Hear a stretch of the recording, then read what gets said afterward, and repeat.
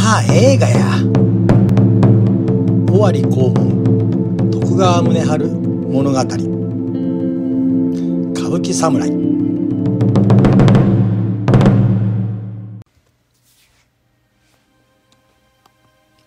こんにちは。徳川宗春江戸を越えた先見力。作者の北川雄一です。岐阜県各務原市の里山の裾野にある高野山真言宗の高家寺というお寺の住職をしています。不思議な縁を得て尾張徳川七代目の徳川宗春教の研究を始め通説とは異なる宗春教の全体像を見つけました。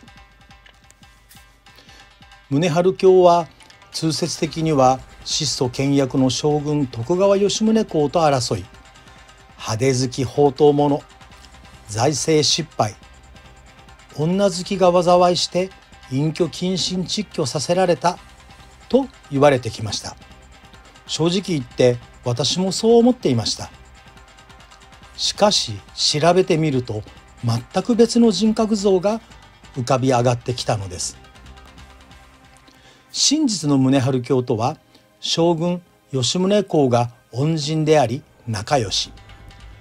領民の喜びを第一にしそのためなら自らは道家を演じ商人を活用して財政よりも領民を優先させ巧みな経済政策をし女性の保護や身分を超える登用など人権をとても大切にする世界に先駆けた啓蒙思想の領主だったのです。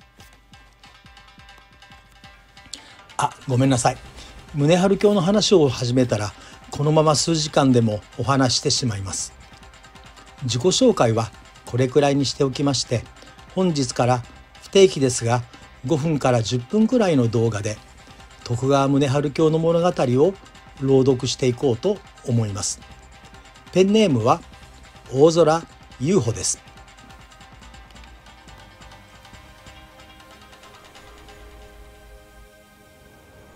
徳川宗春という人物の真実を下敷きにして当時の出来事を散りばめて創作した時代小説です。語り部は鈴木遥という女子大生なのですがとりあえずは私が朗読しますので女性の声と男性の声の声色の違いはご容赦くださいね。では説明はこれまでとして。まあ映画や。尾張黄門。徳川宗春物語の朗読を始めます。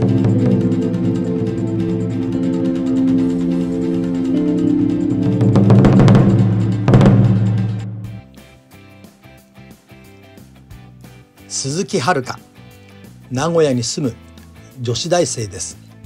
先日不思議なことがありました。名古屋城の東にある金シャチ横丁の宗春ゾーンで友達たちとランチをとっていました。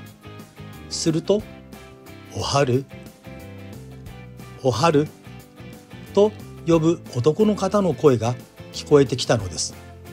周りを見渡すとそれらしき人はいません。はるかどうしたの？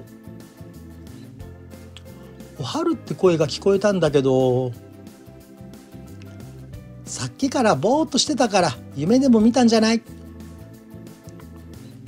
白チュームとっても大切な人の声だったんだけど思い出せない。はるかやっといい人できたんだ。そうなの？そんなんだったらすぐに二人に言うわよ。あはは。そうだよね。私は再び日常に戻りランチを楽しみました。その日のこと不思議な夢を見ました。名古屋のお城のすぐ隣。そうお昼のランチとほぼ同じ場所に。3,000坪ほどある大きなお屋敷がありました。私でない私は小さな小物を持ってそこを伺ったのです。おしゃれな訪問着を着ていました。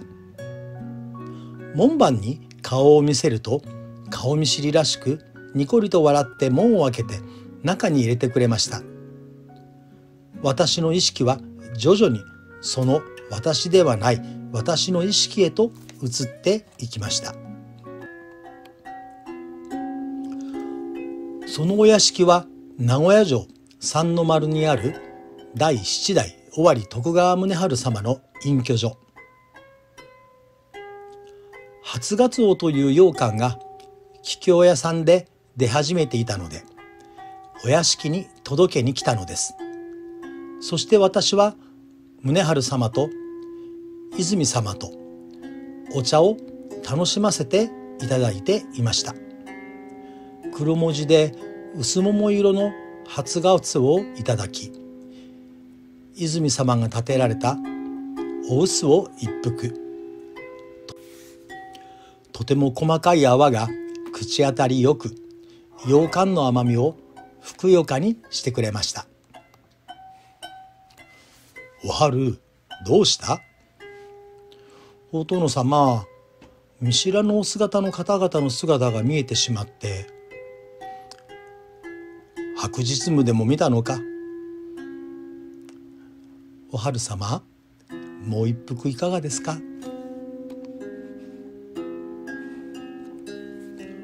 桃の花が美しく咲く庭を見つめながら笑顔で私は短座しました。これから尾張徳川家第七代当主徳川宗春様の美しくも数奇なご生涯を語らせていただきます。前世の私今から300年前は春という名前でした。宗春様のおそばでお仕えさせていただいていました。本来ならば宗春様を大殿様ご隠居様先の黄門様大納言様とお呼びすべきところですがあえて宗春様と呼ばせていただきます。それに合わせ他の方々も御意皆でびいたします比例をお許しくださいませ。